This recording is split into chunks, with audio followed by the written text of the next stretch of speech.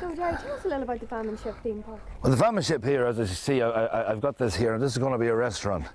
Uh, and my whole thing is that you can make money out of human misery and enjoy it and make a bit of bob on the side, and that's all right.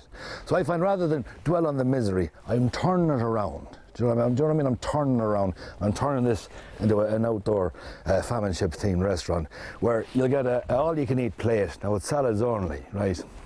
Uh, and it'll be 5.50 for the plate. You get as much salad as you like, right? Now you can have other things. I was going to call this section over here. Do you want to come over here have a look at this?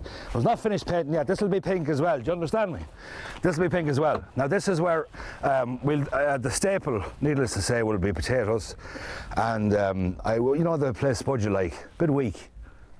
Spud you crave, because if you're really starving, do you know what I mean? You'll have a spud here. And it's in keeping with the team, the famine, do you understand me? And um, they're all blight free, thanks be to God, we don't have to worry about that anymore. And um, uh, But between that and our salad section over there, I think you'll, you'll come here now to the famine theme park and you'll be well fed. You know what I mean? Turning it around, turning it around. Mind me asking, No, I don't mind you asking me anything at all, you like? well, could you tell me why pink? Pink, right. Well, I'll tell you, a while back now, I had the house feng shui. Did you ever hear that? Or feng shui, it depends where you're from. But, uh, and this lassie advised me, and uh, she came in and she moved the furniture and turned the bed around. It wasn't quite right.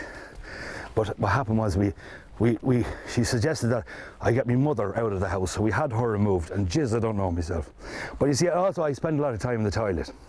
Now, she was saying, um, if you're there all the time, you want to cheer yourself up. She says, painted pink. We painted the toilet pink, and it was a cheerful colour. And I see, you're learning all the time. Do you know what I mean? You're learning all the time. And so I decided to paint this rather than dwell on the misery. Paint it pink and cheer everybody up. Same as me toilet.